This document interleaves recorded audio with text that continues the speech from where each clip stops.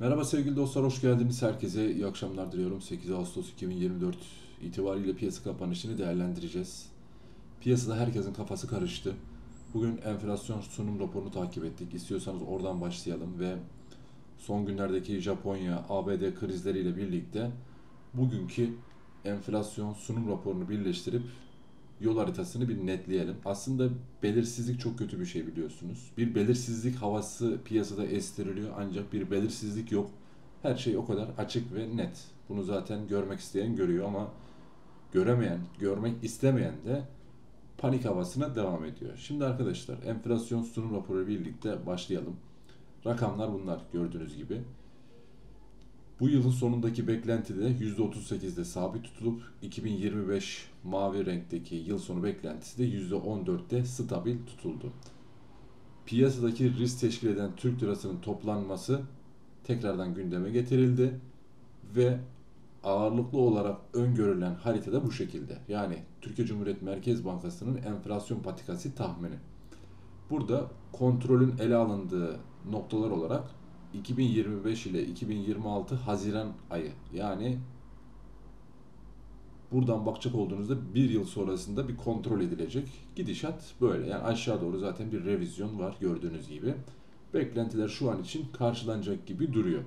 Ancak iç piyasadaki para babaları, şirketler işte artık her ne derseniz deyin. Kimisi faiz indirimi sürecinin artık net bir şekilde Eylül-Ekim ayları itibariyle başlaması gerektiğini savunuyor. Bittik tükendik diyor.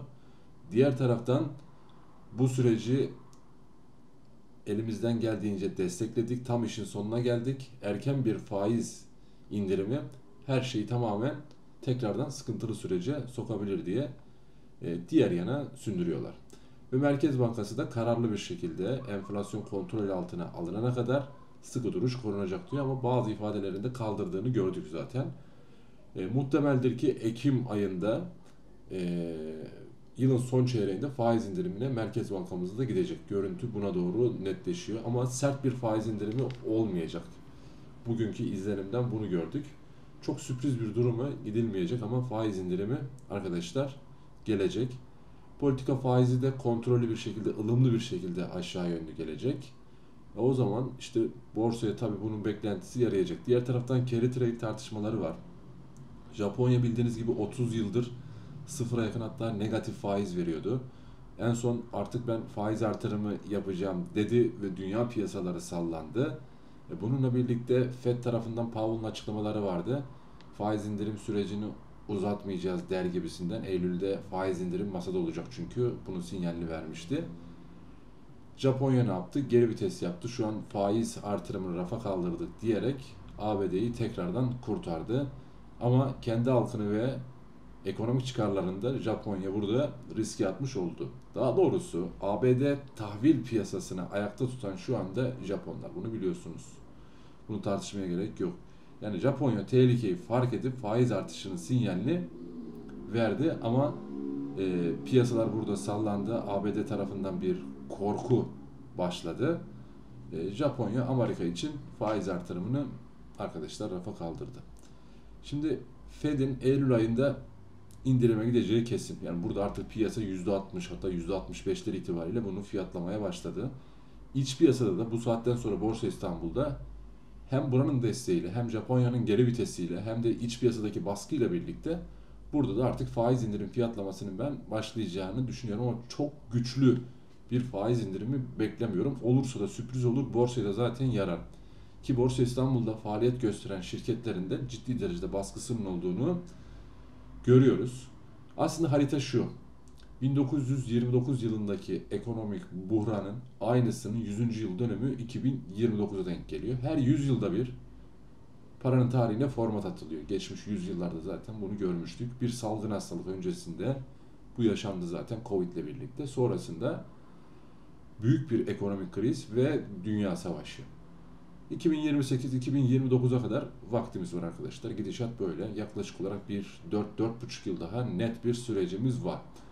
Bu da Borsa İstanbul'daki ana ralliyi arkadaşlar engellemez. Benim gördüğüm bu. Tabi bu dönemde eğer ben çok sabırlı biriyim. Ben bu işin sonunda bu noktaların artık net bir şekilde işte 2030-2029 yıllarında dünya ekonomisinin artık biteceğini, doların devrinin biteceğini, bu ABD'nin son baharı dolar açısından piyasalara son pa- para basması ve bu noktada da altın alevlenir diyen varsa benim gördüğüm kadarıyla haklı. Ben de zaten bu sebeple artık kademeli bir şekilde altın alımına başladım. Uzun vade. Biliyorsunuz ben bunu zaten daha önce söylemiştim. Ama tam anlamıyla bugünden itibaren altına geçmek de %100 doğru değil. Ya da %100 borsada kalmak da doğru değil. Zaten dövizde kalmanın hiçbir mantığı yok. Ki artık döviz beklentinizi de enflasyondaki geri çekilmeyle orantılı bir şekilde. Enflasyonda örnek veriyorum bir yıl içerisinde %31 aşağı yukarı geri çekilme görüldüyse kur tarafında da %30 yukarı yönlü hareket. Bence planlamayı bu şekilde yapılması lazım. Çok sürpriz bir durum iç piyasada yaşanmadığı sürece bir siyasi gerginlik, bir erken seçim ya da işte Merkez Bankası Başkanı görevden alınır vesaire olası çok büyük bir sıkıntılı bir sınır ötesi harekat gibi durumlar oluşmadığı sürece ya da çok sert faiz indirimleri olmadığı sürece kurda bu beklenti değişmeyecek. Aklımızı başımıza alalım. Kur beklentilerini bence böyle yönetirsek iyi olur. Halen bugünün şartlarında dahi kurda bir sürpriz hareket ben beklemiyorum. Tekrardan aşağıdan gelen 2023 Mayıs ayındaki o rally trendine tekrardan bugün itibariyle geri döndük. Bölgenin üstüne kapanışımız geldi gördüğünüz gibi. 10.000 kritik psikolojik direncini tekrardan açtık. Bölgenin üzerindeyiz. Şimdi bir gapli bölgemiz var. 10.500'lerin üzerinde kalıcılık önemli. Ama ben bir korkulacak durum olduğunu düşünüyorum. Göstergelerde zaten RSI 27'den döndü. Bayağı bir dinlendi artık. Şimdi bu saatten sonra neyi takip edeceğiz derseniz aylık bazdaki göstergelerimizde halen pozitif bölgede olduğunu belirtmiştim. Dalgalanmalar devam ediyor. Bugün yine hisse özel tarafında havacılık tarafını değerlendirdik. Pegasus ve Türk Hava Yolları'nı. Orada bir pop poflama var bildiğiniz gibi. E, aracı kurumların al önerisi var. Belli ki bir miktar o tarafları ateşleyecekler ama çok çok dikkatli olmamız gereken bir sektör. Evet 3. çeyrek bilançolarının iyi gelmesi bekleniyor. İşte çeyrekler Türk Hava Yolları'nda geldi. Fena da gelmedi, güzel geldi önceki yılın aynı dönemine göre. Ama süreç çok kritik bir şekilde takip edilecek. Bunun da e, bilincinde olun derim. Şimdi toparlanma arifesindeyiz. Dün de söylemiştim. Tepki alımları toparlanma artık başladı. E, Japonya'nın geri adım atmasıyla birlikte iç piyasada bu biraz daha alevlenecek. Ama bakın şimdi bugün endekse göre e, bakıldığında Türk Hava Yolları mesela son günlerdeki işte açıklamalarla birlikte aracı kurumları burası daha iyi bir şekilde bu gepli bölgeleri kapattı. Örnek veriyorum. Aselsan'a bakıyoruz daha burası kapatamadı. Mesela Türk Hava Yolları biraz daha önden gidiyor gibi. Petkim geride kaldı. Sasa buradaki açığı o kısa vadedeki daha iyi kapattı. Şimdi sırası gelen aslında ya da yabancının ağırlıklı olarak yönlenebileceği tarafları da kestirmek çok da zor değil. Aracı kurum dağılımlarında bugün Türk Hava Yolları özelinde ve e, Pegasus üzerinde de inceledik. O taraflarda yabancı kaymağı yiyip sırasını muhtemeldir ki yerli kurumlara savmış gibi duruyor. Benim gördüğüm bu. Detaylarda zaten size gösterdim. Evet tekrardan bir yabancı değerlendirmesi olabilir mi? Olabilir ama ağırlık olarak yabancının gelebilmesi için döviz bazında, dolar bazında primli olmaması gerekiyor o kağıdın. İki tarafa da baktığımızda özellikle Türk Hava Yolları'nın dolar bazında primli olduğunu zaten defalarca kez söylemiştim. Bu benim görüşüm. Keza bankalarda da aynı şekilde. Şimdi faiz indirim döngüsüyle birlikte bu beklentinin Borsa İstanbul'da fiyatlanmasıyla birlikte sanayi hisseleri daha çok ön planda olacak. Yani sanayi şirketleri. Neden? Çünkü bunlar artık tamam dedi, yeter dedi. Biz belli bir noktaya artık direndik. Daha da dayanabilecek yüksek faize gücümüz yok dediler. O yüzden de faiz indirim baskısı bence sonuç verecek ama sert bir şekilde olmayacak. Çünkü enflasyonla mücadele kapsamında da kontrolü elden bırakmaması gerekiyor. Aksi takdirde ok yaydan sert çıkar. Bunu zaten Merkez Bankası yetkilileri biliyor. Piyasada bir durgunluk istenmiyor. Bu çok net bir şekilde belirtiliyor. Evet risk teşkil eden Türk lirası toplanıyor ama istenilirse bu daha da hızlı bir şekilde toplanabilir ama bu da yapılmıyor. Yani ortada bir e, para bolluğu yaşanacak arkadaşlar. Hem yurt dışı kaynaklı hem yurt içi kaynaklı. Özellikle FED özelinde dünya piyasalarını paraya boğacaklar. Harita bu. Benim gördüğüm bu. Eğer fikrimi, öngörümü merak ediyorsanız.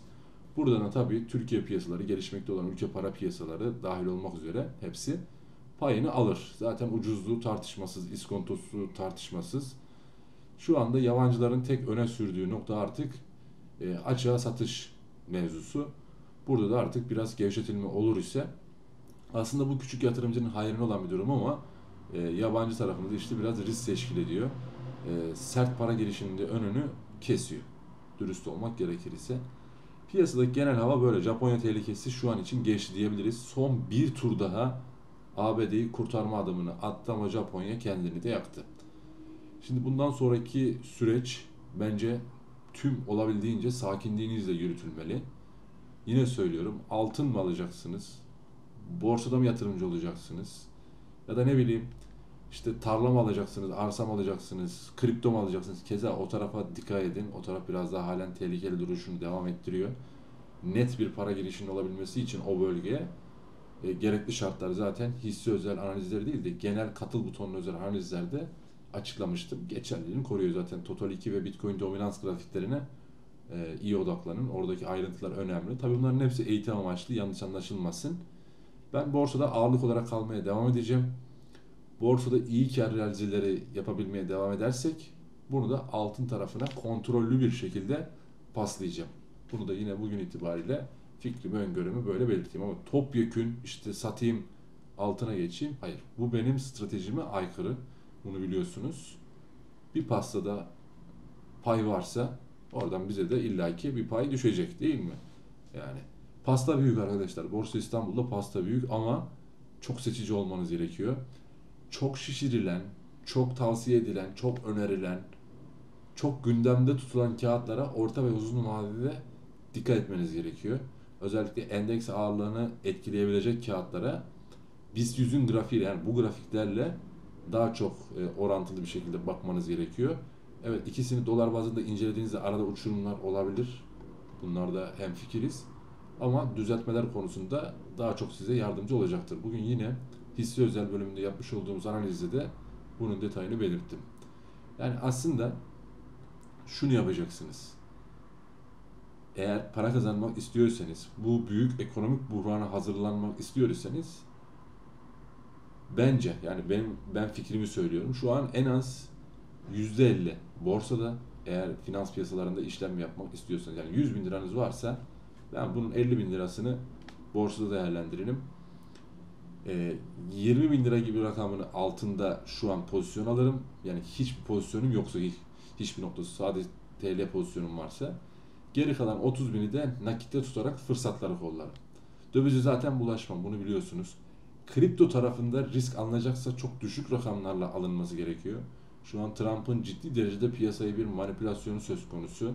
Diğer taraftan Rusya'nın ödemeler konusunda önemli e, pozitif gelişmeleri mevcut. Onları da zaten takip ediyorsunuzdur illaki. Yani bir belirsizlik, bir kaotik hava tüm dünya piyasalarında oluşturulmak isteniyor büyük akıl tarafından. Ancak e, olacaklar belli. Bu para bolluğu yaşatılacak arkadaşlar. Bundan kaçış yok. Benim gördüğüm bu. Kişisel fikrimi öngörüm bu şekilde. Yani Japonya geri vitesi yaptı. Buradan sonra tekrardan öne doğru bir adım atamaz. Tahvil faizleri de zaten yukarı yönlü hareketlendi tekrardan. E, altın kısa vadede biraz daha bir dinlenmek ister gibi hareketler yapsa da altına talep tekrardan gelecektir. Gidişat böyle. Onun haricinde petrole vesaire değinmeye gerek var mı bilmiyorum. Videoda uzadı 14 dakika oldu. Yarın itibariyle ve hafta sonunda yine kapsamlı bir şekilde değerlendirmeler yaparız. Bu tarz videoları beğeniyor iseniz eğitim amaçlı tavsiye niteliği olmadan videolarımızı bir zahmet beğenelim. Abone olmayan izleyen arkadaşlar da bir zahmet abone olursa sevinirim. Hepinize bol şans, bol kazançlar diliyorum. Hepinizi Allah'a emanet ediyorum. Kendi özgür iradenizle kararlar vermeye bakın ve kendiniz strateji geliştirin. Geçmiş dönemlerde yaşanan gelişmeleri sürekli olarak hatırlayın. Özellikle 1929 ekonomik buhranını, işte 2008'de bizi teğet geçen o kriz sürecindeki e, provanın aynısının bir benzerinin geçtiğimiz pazartesi salı itibariyle arkadaşlar bir hatırlatması yapıldı. Bir prova yapıldı zaten burada da aslına bakıldığında. Teknik bir silkeleme hareketi gördük zaten. Hep ana yükselişler öncesinde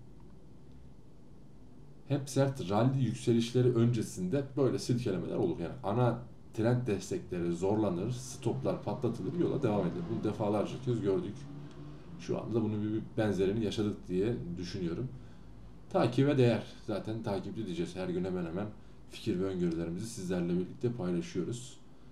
Ee, bu strateji bence iyi. Uzun bir süredir de üzerinde duruyoruz. Yani borsada şu anda bir korku havası estiriliyor ama korkulacak bir durum yok.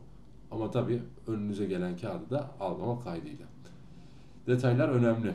Mevsimsel etkisi geçmek üzere olanlar var. Yeni gelenler var kış e, itibariyle işte Ekim, Kasım, Aralık, Ocak, Şubat itibariyle bunlar daha çok fiyatlamalara dahil olacak.